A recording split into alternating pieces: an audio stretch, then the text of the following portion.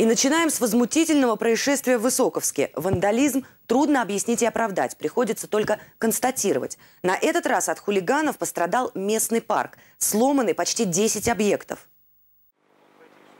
Сумму ущерба пока оценить сложно. Больше всего досталось уличным фонарям. Где-то плафоны просто разбили, где-то, что называется, выдрали с мясом, а какие-то просто украли.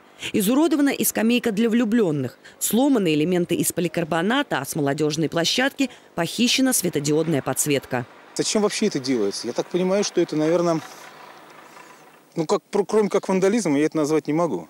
Но зачем, кому и что это нужно? Вот скажите мне, кто мне может объяснить, зачем это сделано? Цели нет. Это просто сломали. А раз просто сломали, то эти люди, кто это сделал, они, во-первых, себя не уважают, они не уважают своих близких, они не уважают людей, которые живут в этом городе, которые пользуются этим парком.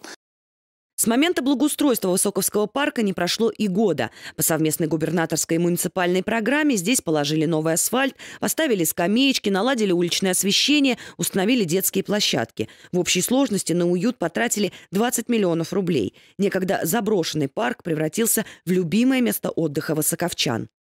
Настолько наш город преобразился за последнее время. И мне так приятно стало по парку гулять, ходить.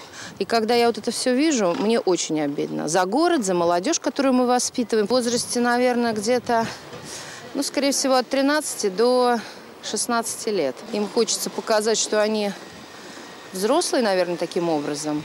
Поймать отморозков реально только по горячим следам, но время ушло, а потому возмещать ущерб будет городская администрация. До весны восстановят плафоны, светодиодную подсветку, отремонтируют скамейку влюбленных. А в парке введут усиленное полицейское патрулирование в вечернее время суток.